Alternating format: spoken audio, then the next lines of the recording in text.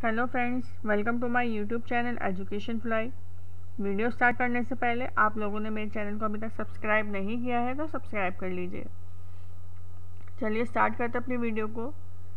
इसमें देखिए डेट जो है लेफ़्ट में आ रही है और ये डेट आपके कॉलेज वाले बताएँगे इसमें क्या डाली जाएगी। बीच में है विषय, यानी कि सब्जेक्ट उप विषय सब सब्जेक्ट प्रकरण टॉपिक जो भी आप पढ़ाने वाले हैं, कौशल कौशल में जो प्रैक्टिकल में पूछा जाता है, कितने तरह के क्वेश्चन होते हैं? माइक्रो लेसन प्लान में पाँच तरह के क्वेश्चन होते हैं। वो पाँचों क्वेश्चन मैं आपको एक्सप्लेन कर दूँगी और जिस सीरीज़ में बताए जाएँगे, वो उसी सीरीज़ में लिखे जाते हैं। राइट में है कक्षा, यानी कि क्लास कालांश, यानी कि पीरियड जो भी पीरियड रहा हो क्लास का। समय अवधि फाइव से टेन मिनट ही रहता है। कौशल में आता है, सबसे पहले आता है प्रस्तावना इंट्रोडक्शन पार्ट इंट्रोडक्शन पार्ट में आप स्टूडेंट से बहुत इजी क्वेश्चन पूछे पूछते हैं। जो भी टॉपिक आप पढ़ाने वाले हैं, उससे रिलेटेड कोई भी क्वेश्चन पूछ लीजिए। इतने इजी होने चाहिए कि स्टूडेंट सबका जवाब दे दें। सबसे लास्ट में जो टॉपिक आपको पढ़ाना है, वो क्वेश्चन पूछिए।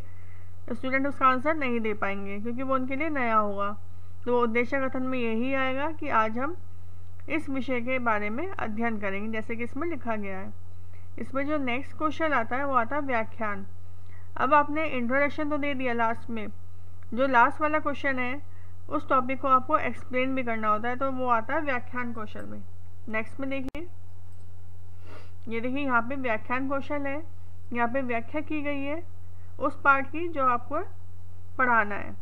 और उसके बाद आता है प्रश्न प्रवाह कौशल। प्रश्न प्रवाह कौशल में जो टॉपिक आपने पढ़ाया है, उससे रिलेटेड स्टूडेंट की नॉलेज चेक करेंगे। स्टूडेंट से क्वेश्चन पूछेंगे तो सभी के आंसर दे देंगे, जैसे कि इसमें किया गया है।